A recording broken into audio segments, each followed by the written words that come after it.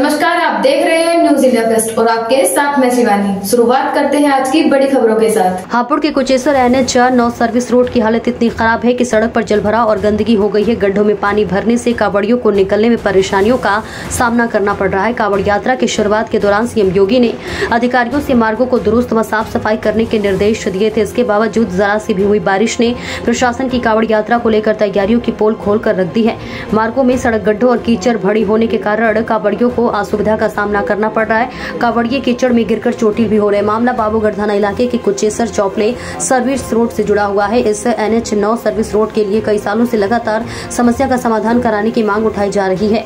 जनप्रतिनिधि और प्रशासनिक अधिकारियों से भी इस संबंध में सैकड़ों बार क्षेत्रवासी गुहार लगा चुके हैं, लेकिन बावजूद इसके कोई समाधान नहीं निकल पाया, जिसका नतीजा आपके सामने है। हापुड़ से संवाददाता अभिषेक कश्यप की रिपोर्ट बांग्लादेश से मौजूद हम उत्तर प्रदेश की शाहपुर के कुचेसर रोड चौकले पर जहाँ जल भराव के कारण लोगों को बहुत परेशानी का सामना करना पड़ रहा है। कुछ भोले हमारे साथ मौजूद हैं उनसे जानते हैं कि इस पानी के कारण उन्हें कितनी परेशानी का सामना करना पड़ रहा है।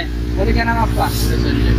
कहाँ के निवासी हो जल भराव के कारण आपको कितनी परेशानी का सामना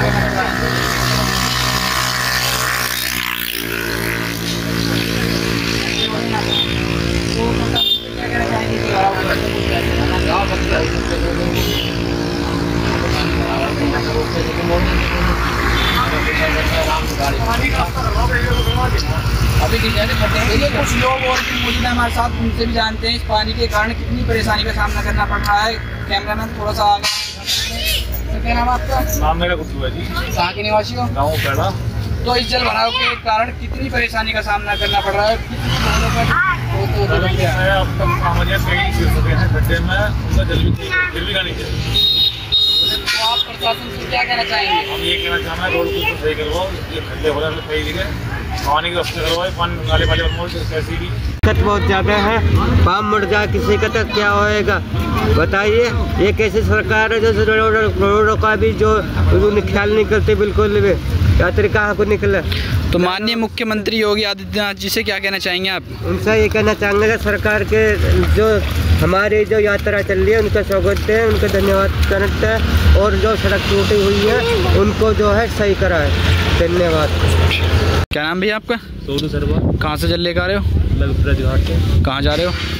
सप्ली इस पानी के बारे में क्या कहना चाहेंगे आप? बहुत बेकार रास्ता हो रहा है। तो प्रशासन से क्या कहना चाहेंगे?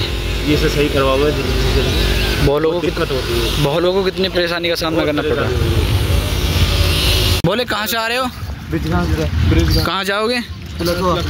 बोले अब जो ये पानी भर रहा है इसमें कितनी परेशानी का सामना उठाना पड़ रहा है आपका? गड्ढे भी नहीं दिखाई दे रहा प्लस क्यों करें। माननीय मुख्यमंत्री से क्या कहना चाहेंगे आप? चली जाएगी। रोड की व्यवस्था करवाई जाए। लेटेस्ट अपडेट के लिए हमारे चैनल न्यूज़ इंडिया फ़र्स्ट को लाइक शेयर एंड सब्सक्राइब करें। एंड यस बेल आइकन को प्रेस करना ना भूलें।